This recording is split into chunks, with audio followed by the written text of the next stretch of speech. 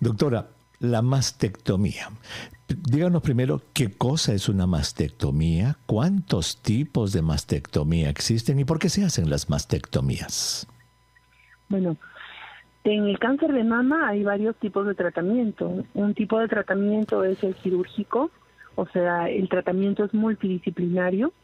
El cirujano tiene y elige con la paciente el tipo de cirugía que la paciente tiene que recibir y podríamos distinguir dos grandes grupos. Un grupo de cirugía de conservación, donde uno retira el tumor, evalúa los ganglios o retira los ganglios, es cirugía de conservación, y otro tipo de cirugía es la cirugía radical, dentro de ellos está la mastectomía. Cuando decimos mastectomía, referimos a retirar todo el tejido mamario, todo el tejido glandular de la mama.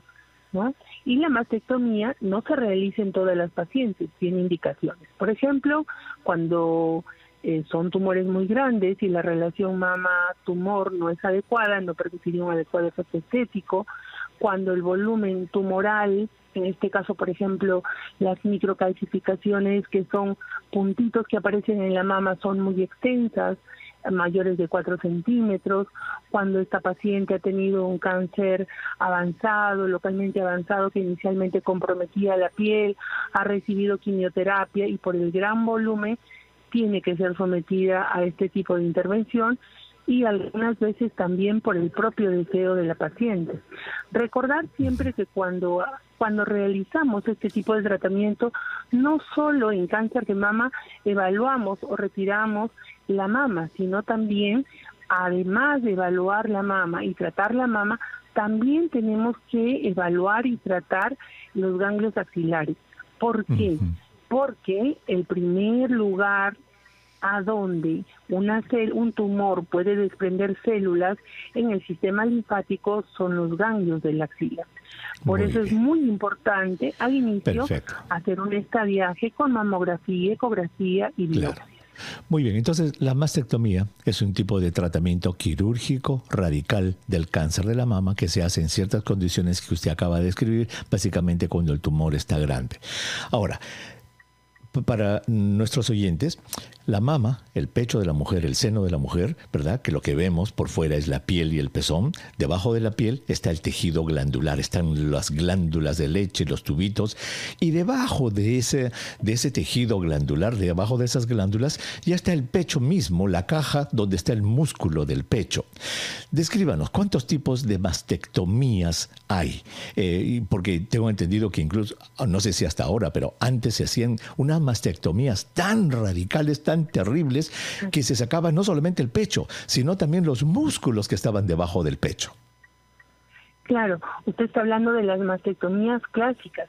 En las mastectomías clásicas eh, se retiraba el músculo pectoral mayor, el pectoral menor, además del tejido glandular y los ganglios de la axila. ¿Se sigue haciendo eso o ya no?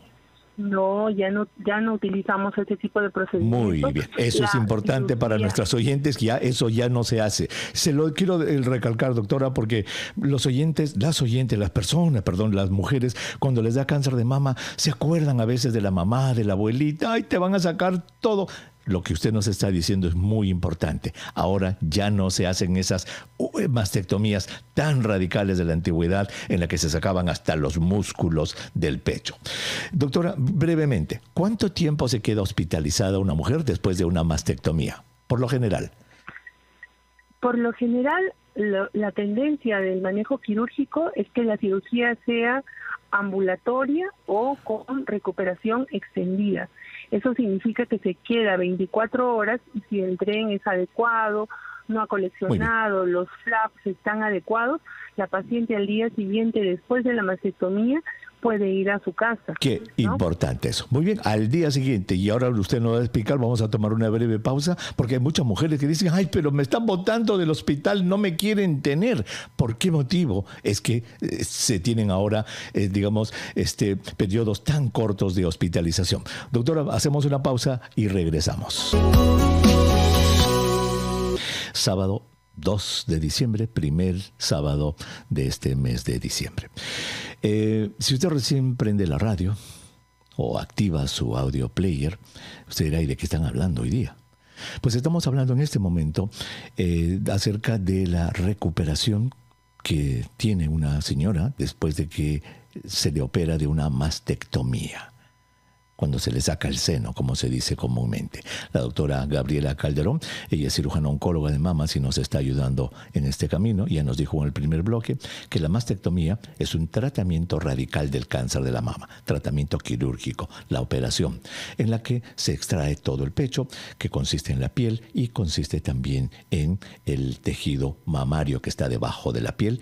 En la antigüedad, señor, señora, se hacían unas operaciones tan grandes que incluso se sacaban los músculos músculos que estaban debajo del pecho, los músculos pectorales, nos ha dicho la doctora que eso ya es historia, eso no se hace. Y también nos ha dicho que eh, la paciente permanece en el hospital el menor tiempo posible. Si es posible, el mismo día se va o pasa la noche en el hospital y al día siguiente ya está yendo a la casa. Doctora Calderón, ¿por qué motivo?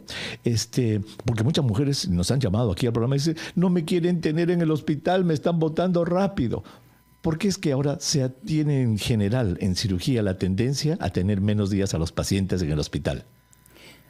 Porque primero son cirugías limpias, el paciente no, no requiere estar en un ambiente que potencialmente podría conllevarle a contraer infecciones. Lo segundo, que son de fácil recuperación. Y lo tercero, porque la mama es un órgano de superficie. Entonces, al ser un órgano de superficie es considerado como una glándula eh, un tejido externo, no es una víscera, y entonces eh, la recuperación es mucho más fácil. Esto también influye en que dispongamos, por ejemplo, estas camas hospitalarias para pacientes con, patología de real complejidad y mayor tiempo de estancia. perfecto. Eh, la infección es importante, evitar las infecciones intrahospitalarias y es una cirugía limpia, como nos ha dicho, que puede estar en su casa. Muy bien, pasemos entonces ahora sí al tema de la recuperación. ¿Cuáles son las indicaciones que lleva una mujer al salir de la casa? Señora, usted se va a su casa. para empezar, doctora, ¿quién le da esas indicaciones y en qué vía? ¿Se la da por escrito? ¿Es solamente oral? ¿Cómo es?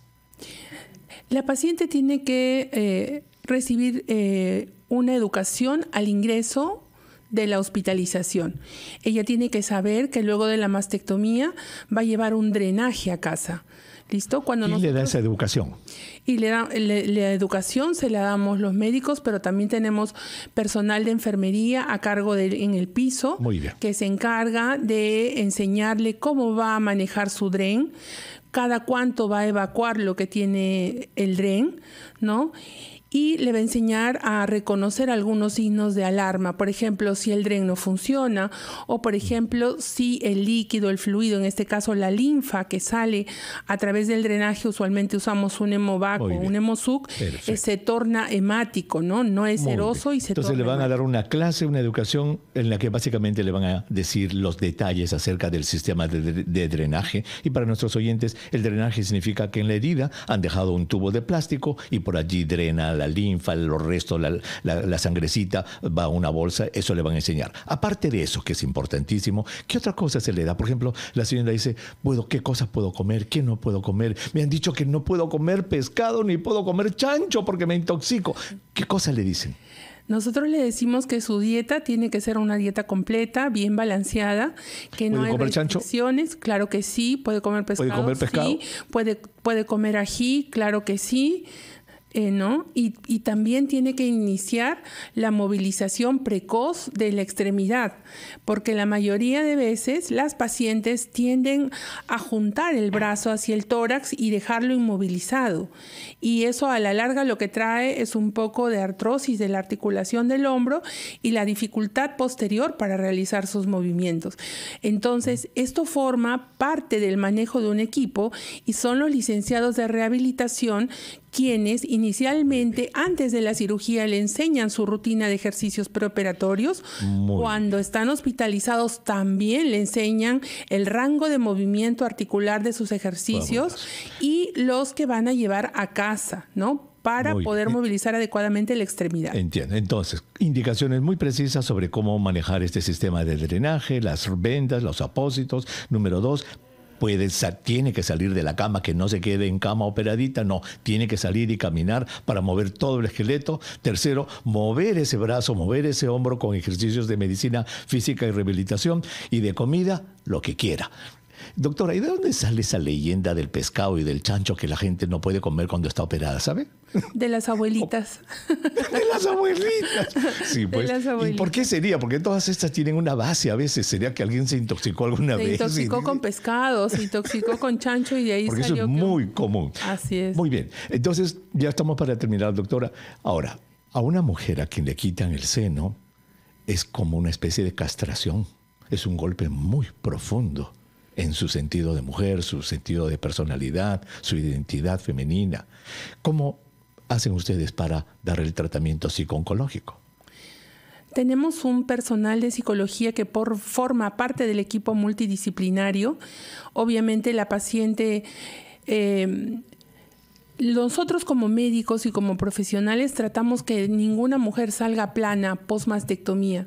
Eso significa que se le da la oportunidad de tener una reconstrucción inmediata. Y con el advenimiento de nueva técnica quirúrgica, incluso estamos haciendo mastectomías subcutáneas con preservación de complejo areola-pezón, colocación de prótesis inmediata y el paciente, incluso en esas condiciones, sale al día siguiente a la casa de alta. Entonces, eso psicológicamente influye. Algo importante también es que la cirugía se ha modernizado tanto que tenemos técnicas de cirugía oncoplástica que permite remover grandes volúmenes y que el efecto estético de, la mama y el oncológico sean adecuados. Cuando se han hecho estudios, por ejemplo, se ha visto que hay mejor calidad de vida en pacientes que han tenido incluso cirugías oncoplásticas extremas comparadas con pacientes que han tenido las mastectomías. Entonces, primordial intentar salvar la mama hasta el último, ¿no? Hasta el último y solamente se hace la mastectomía en condiciones especificadas, específicas. Entiendo. Por último, doctora, y que no quiero ponerla en un lugar difícil, pero usted nos ha descrito el país de las maravillas, esta cirugía tan buena, tan linda, sacar todo esto. ¿Esto solamente se hace en un par de sitios en el Perú? Eh, no, eh, lo hacemos, por ejemplo, en el INEN, en los IRENES también lo hacen, en el INEN Norte hay un servicio o sea, uno en Trujillo, uno en Arequipa, dos Maldima, tres. Tres. Y en algunos hospitales como el Hospital Loaiza, donde también tiene un servicio de cirugía plástica, en, Cayetano Heredia están comenzando la curva. Entonces, eso significa que todos los profesionales están tomando muy en cuenta este efecto mental, psicológico, de bienestar eh, de la paciente que es sometida a Qué bueno, qué bueno, porque lo que nos ha descrito es maravilloso y sería, sería lindo, sería un sueño que se tenga en 10, 15, 20 sitios en nuestro país. Hasta ahora estamos en tres o cuatro, pero estamos en el camino a, a, corregir esta desigualdad. Doctora, muchísimas gracias por haber estado con nosotros. Me ha encantado conversar con usted. Gracias por todo el trabajo que hacen ustedes para la recuperación de nuestras pacientes. Gracias. Encantada, doctor. Siempre disponible y al servicio de todas las mujeres del Perú. Gracias, muchísimas gracias. Eh, yo sé que, mire, señor, señora, ya aprendió usted cómo se hace la recuperación de una operación grande. ¿De dónde pues habrá salido esa leyenda? No, no comas pescado, no comas chancho después de la operación. Ya nos ha dicho la doctora, oiga, coma lo que quiera, hasta puede comer su ají. La doctora Gabriela Calderón, cirujana oncóloga de mamas, estuvo con nosotros.